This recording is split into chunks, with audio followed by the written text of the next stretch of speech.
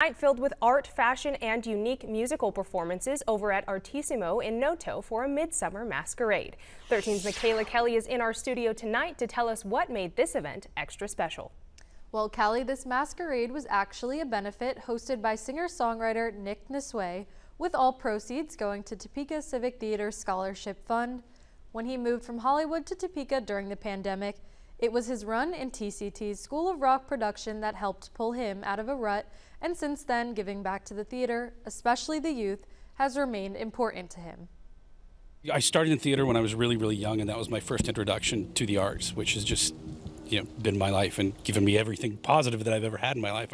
After an invite to play a show at Artissimo Art Gallery, Nassuet suggested spinning the show into a fundraiser and inviting other artists to showcase their work as well. As a business that's no stranger to giving a platform to local artists, it was a no-brainer for the owners to participate.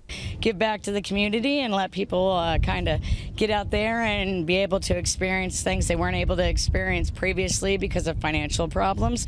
That's uh, something that's really great. To be able to showcase Topeka's art scene to artists from throughout the country. It's, it's a thrill because we've got a lot to offer in Topeka. Local musicians appreciate events like this that welcome them with open arms and allow them to reach an audience. Um, we rely heavily on uh, good venues and good atmospheres, and this is a really good place to do that. And it was not just locals that participated in the event, though.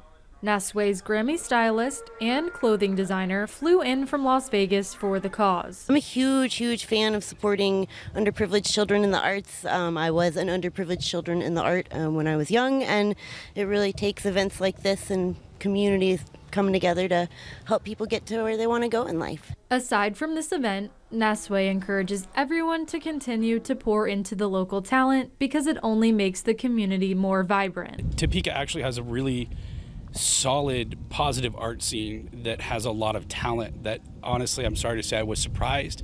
Everybody pulls together for these positive things and everybody supports each other. It's, uh, it's beautiful. Topeka Civic Theater scholarships aim to ensure that theater is accessible to all, regardless of financial constraints, and they rely on the generosity of donors. Callie?